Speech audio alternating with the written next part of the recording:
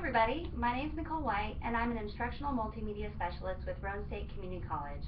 We're located in East Tennessee, just outside the Knoxville area, and we have a total of nine campuses. So we have a few larger campuses with some smaller ones that service our rural communities. Now, in my position as Multimedia Specialist, I get to provide support to our faculty and to our students, primarily so that they have technical support when it comes to online learning. But my background is in video, so I get really excited when I have an opportunity to assist a faculty member in creating new videos, new audio, or interactive content that they can add to their courses. And by taking this MOOC, WAMOE has been fantastic. Uh, I'm all about practical application. You know, let me see examples of how we can make this content accessible, which is exactly what the MOOC is providing. So thank you so much.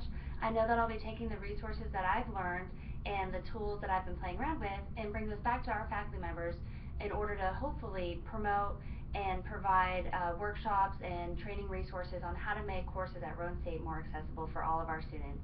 So thanks guys for doing a great job and uh, I look forward to moving through the last few weeks with you guys.